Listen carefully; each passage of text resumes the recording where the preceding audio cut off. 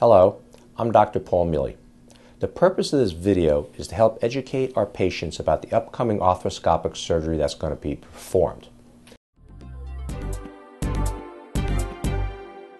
The knee joint is where two of the largest bones in the body meet to create a hinge type joint.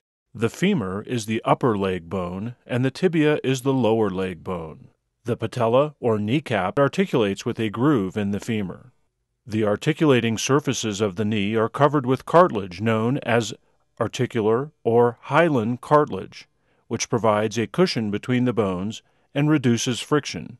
The knee is stabilized by several ligaments, including the cruciate ligaments and the collateral ligaments. The knee also has a medial and a lateral meniscus, which serves as a shock absorber to further reduce friction and the forces placed upon the femur and the tibia. The arthroscope is what makes arthroscopy possible. The arthroscopic lens is less than 3 millimeters in diameter, yet it has high definition lenses which provide extraordinary visual detail. A high definition video camera attaches to the arthroscope, which displays the video on large monitors. A high intensity light source also attaches to the arthroscope and transmits light through fiber optic cables. The fiber optic cables carry light from the light source through the arthroscope and to its tip, where the camera lens is located. This lights the inside of the knee joint for a perfect view. When knee arthroscopy is performed, the knee is filled with sterile water or saline solution. The flow and pressure is controlled by a fluid pump specifically designed for this purpose, which allows a safe and constant exchange of fluid. In the late 1970s and early 1980s, knee arthroscopy was only used to inspect the knee to confirm damage. But as decades have passed, thousands of unique and specialized miniature surgical instruments have been developed. These instruments have transformed arthroscopy into the specialized art form of today.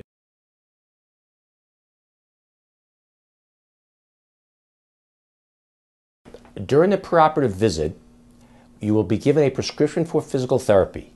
Please call the therapist to make sure an appointment is scheduled two days postoperatively.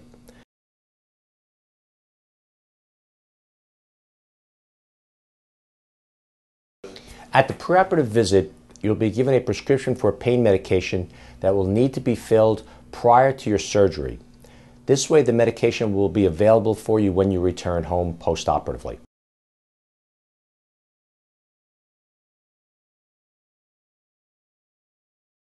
We will ask that you come to the uh, hospital approximately two hours prior to the time of your surgery.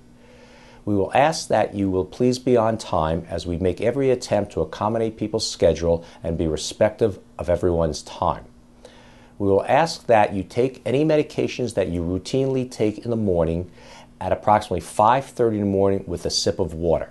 For example, if you take blood pressure medicine, we want you to take all of the blood pressure medicine if you take any diabetes medicine, we will ask you to take one half of the diabetes medicine in view of the fact that you will not be having any food after midnight. So, to repeat, there's no food to be eaten in the morning of surgery, there's nothing to be eaten after midnight. We will take all of our routine medications, blood pressure medicine, thyroid medications that we normally take in the morning. We will stop taking any aspirin, blood thinners, supplements, etc at least five to seven days prior to the surgery. If you're on any special blood thinners such as Coumadin, Plavix, or Xarelto, we will review that with you individually prior to the surgery as different patients require different dosages with respect to the blood thinners. If you're on any type of diabetic medicines, we ask that you take one half of your normal diabetic medicine again at 5:30 in the morning. This again is due to the fact that you will not be eating any food. Upon arrival to the hospital, we will greet you prior to the surgery.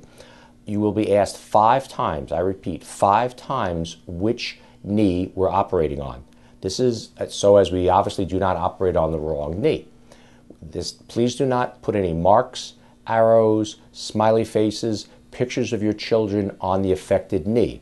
I will, I will be the last one to ask you which knee, and I personally will mark your leg so we know as which knee that surgery is going to be performed upon. The surgical procedure will take approximately 45 minutes. We perform general anesthesia, but we call it a light anesthesia in that it's not like heart or brain surgery where the operation takes six, eight hours and you're essentially in a coma. This is closer to like a colonoscopy where it's a light twilight type anesthesia. The procedure takes about 45 minutes. We then will bring you to the recovery room where you will spend approximately two hours uh, re- recovering. Once we leave the recovery room, you will be given a pair of crutches or a walker, whichever you prefer, so allow you to walk on the leg. You can put 100% of your weight on the leg immediately after surgery. We want somebody to drive you home from the surgery. You're not allowed to drive home the, after initial anesthesia. A friend, family member, or even a taxi must bring you home the first day. For the first 24 hours, we want you to remain at home resting with your leg iced and elevated. We want the leg elevated at approximately 60 degree angle. An easy mnemonic is toes above the nose. This requires a minimum of four to five pillows underneath the foot so the foot is above the, the nose. We will get, send you home with an ice pack. We will also give you a blue instruction pamphlet from the office that will review how to ice and when to ice. We typically, for the first 24 hours, would like hour on, hour off, as much as possible. This is not a strict rule, but this is something we'd like to do. The following day after surgery, you will be allowed to walk again with the crutches. You will be on the crutches for three days. You can do simple, easy tasks. You can drive. You can go to Publix. You can do simple things. We do not want your leg down in a dependent position that is sitting in a chair, at a restaurant, at your desk for more than one hour continuously. You will begin physical therapy typically two to three days postoperatively.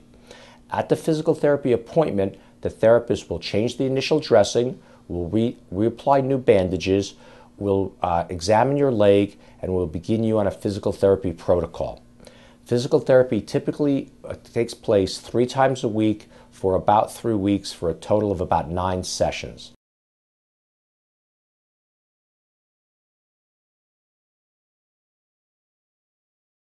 At the end of the thigh bone is cartilage known as articular cartilage, what we also call the aging cartilage. This is where we, as we all age, we develop arthritis and there's wear and tear. During the arthroscopic procedure, I cannot, I repeat, I cannot repair the cartilage, I cannot turn back the clock. We have other techniques and other methods that will be available to us down the road once we heal from the arthroscopic surgery so as to help the articular cartilage, the wear and tear cartilage, the aging cartilage improve and turn back the clock.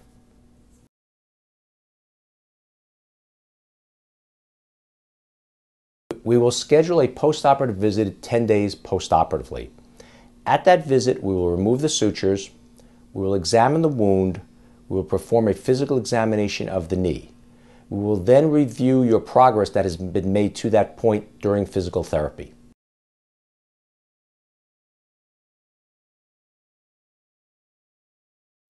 You typically will not be allowed to return to any type of sporting activity for about six weeks. If you're progressing well in therapy, you will be allowed, though, to begin light jogging at a treadmill in approximately two to three weeks. But again, everyone is different and everyone is individual. There are no absolute rules with respect to the type of therapy that's being performed and the speed at which somebody will recover. For more information, go to our website, meliorthopedics.com, and go to the video page, and you can click on and see the exact surgery that is going to be performed.